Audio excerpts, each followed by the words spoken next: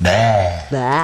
Et il paraît que dans l'Union européenne, les fruits vendus contiendraient de plus en plus de résidus de pesticides. Oula.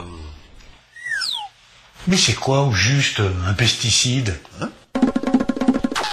Bon alors, quand on tue son père, c'est un parricide. Quand on tue sa mère, c'est un matricide. Mais un pesticide. Bah ça doit être quand on tue sa belle-mère.